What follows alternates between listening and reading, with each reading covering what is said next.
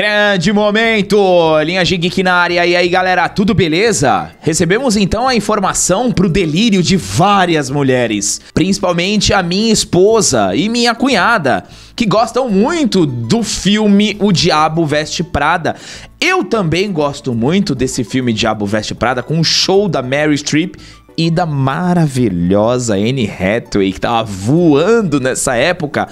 E é um filme que recomendo muito, se porque a nossa audiência é majoritariamente masculina, né? Mas eu acredito que muitos assistiram, porque além de ser um belo filme, ele tem algumas lições e você que, por exemplo, quer ser empreendedor, se você quer, por exemplo, trabalhar com gestão.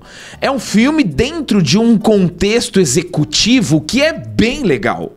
É um filme muito bom.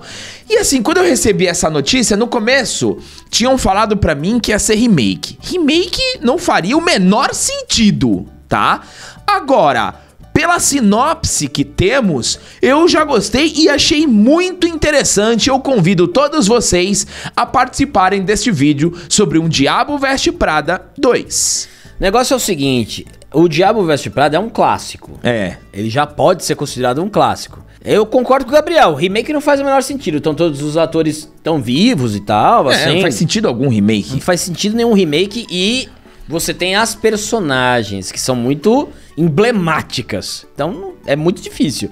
Esse remake aí eu coloco ali no nível do De Volta para o Futuro, do Rock, Exterminador do Futuro. É muito complicado. Agora, sequência.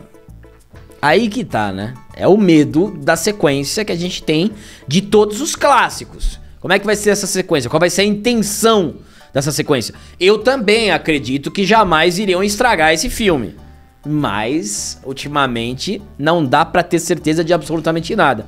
Mas essa sequência vai causar muito barulho. Vai. Principalmente se tiver a turma envolvida no primeiro. Muito bem, já temos a confirmação de algumas atrizes, mas falta ela. Mas eu já quero convidar todas as mulheres que assistem a Linhagem Geek para colocarem seus comentários aí sobre o Diabo Veste Prada. É muito difícil encontrar pessoas que não gostem desse filme, tá? Mas coloquem aí se vocês não gostaram, tá bom? Porque aqui tem o selo de aprovação da linhagem. Essa notícia tá lá no site da Linhagem Geek, linhagemgeek.com.br, o seu principal portal de notícias da cultura pop. Se você é novo aqui, seja muito bem-vindo, se inscreva no canal, dê seu like. E se você já é um velho inscrito, toca aqui, dê o like, que é muito importante. Vá na loja da linhagem, todas as camisas que usamos estão disponíveis na loja da linhagem.com. E se está frio na sua cidade, adquira os nossos moletons.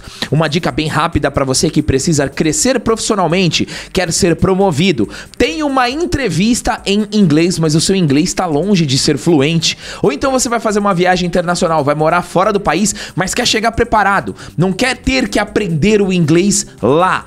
Método BWay com nosso parceiro professor Jonas Bressan voltou com tudo, agora no modelo 2.0, com dois cursos adicionais. O primeiro deles é o inglês com música. Além de se divertir cantando grandes clássicos, você vai memorizar o vocabulário, frases e pronúncias de forma mais rápida e duradoura. E tem o segundo curso que é o Sounds of English, com técnicas práticas e eficazes. Você vai aprender a pronunciar corretamente as letras e as combinações dos sons em inglês. Se você já tem o método BWay, já é aluno do professor, você pode adquirir os cursos extras. Então clica aqui no link e aprenda definitivamente a falar inglês com o método BWay. Vamos lá, galera. Uma notícia surpreendente chegou para os fãs de O Diabo Veste Prada. Ao que tudo indica, uma sequência do sucesso está em construção pela 20th Century Fox. Depois de duas décadas, Mary Streep, Emily Blunt e a roteirista Aline Brosh McKenna vão retornar para a continuação, faltando apenas a confirmação do retorno de Anne Hathaway, que já negocia a sua volta. Aí muda de figura. É. Voltando todo mundo do, do original, muda completamente de figura. E é um filme grande, hein? É grande. É um filme pra cinema e vai ter boa bilheteria, porque a mulher obriga o cara. Aí. o cara não consegue obrigar a mulher pra ir ver o Batman, por exemplo. Difícil. Alguns conseguem. Mas a mulher obriga, mas tem mais esse poder. Então, esse filme aí, se for pro cinema, essa sequência, vai dar bilheteria boa. Vai, eu confesso pra vocês que eu fiquei muito interessado Eu também, eu Porque também. é um filme que eu gosto, é um filme que é, ele tem uma construção e as atrizes são excelentes. Tá? Vamos voltar aqui, ó. O diretor David Frankel já está em conversas com o estúdio para assumir as rédeas do projeto. As informações são da Entertainment Weekly. Os rumores apontam que a intenção da 20th Century Fox é, ri- é reunir toda a equipe novamente, inclusive a produtora Wendy Finerman.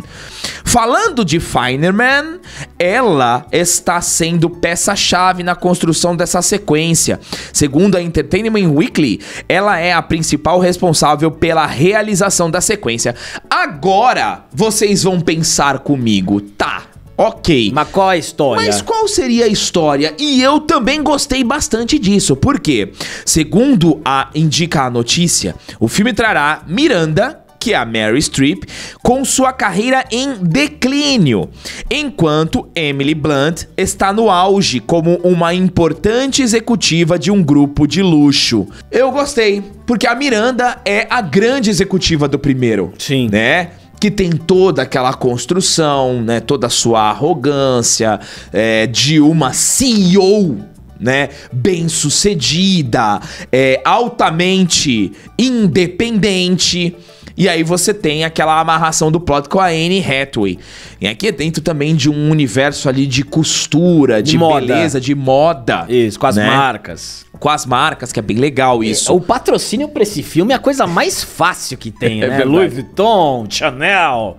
É maravilhoso. E assim, cara, sinopse simples. Simples. É isso. E funciona, tá? É claro, mas porque a turma quer ver esses personagens. É. Ela, a, a- o público fã do primeiro quer ver esses personagens. E a Mary Streep, ela, ela fez história com essa personagem. É, É um verdade. sucesso essa personagem. É gigante. Então, é um filme que se for pro cinema, e eu acho que vai, vai dar uma bela bilheteria, a gente tá torcendo pra isso. Eu torço sim, e dá boa bilheteria, sabe por quê? Olha só que interessante. O primeiro custou apenas 35 milhões de dólares e faturou em bilheteria 326 milhões de dólares. Agora, eu tenho certeza que essa bilheteria dobra, hein? É. dobra. E podemos ter aí um filme grandioso. Não temos data, mas se for pra 2025, tranquilamente vou adorar. E vai ser muito legal rever novamente esses personagens. E a Miranda é, em, uma, em uma posição de, é, de falência, vamos dizer assim. E como a gente acompanha, eu gosto muito de acompanhar o mercado financeiro, é, o, o- esse mercado do empreendedorismo. Tem uma frase, eu não lembro quem foi que falou que, essa, é, é, é, que falou essa frase, mas um grande empreendedor de sucesso, eu acho que foi o Apolinário, eu não lembro. É, ele já, já colecionou fracassos em sua trajetória, mas como ele tem a mente trabalhada, ele consegue recuperar. Então vai ser interessante a gente ver a Miranda em uma posição de fragilidade, tendo que recuperar novamente o seu posto dentro do universo ali da moda. E a gente, logicamente, vai ter que ver uma, uma Miranda diferente, com um pouquinho mais de humildade, que humildade passa longe ali, né? Mas um pouquinho mais de humildade, pés no chão, para reconstruir a sua carreira. Porque olha que legal, a Miranda no Diabo Veste Prada, ela já é a figura de bem-sucedida, mas não conta como ela chegou até lá. Então, esse 2 vai meio que mostrar as estratégias que a Miranda usou para chegar no sucesso, mas depois de uma queda. Vai ser bem interessante se bem abordado. E eu quero que vocês coloquem aí nos comentários a opinião de vocês, que é muito importante. Obrigado a todos que chegaram até aqui. Deem um triplo C, se inscrevam no canal e até o próximo vídeo.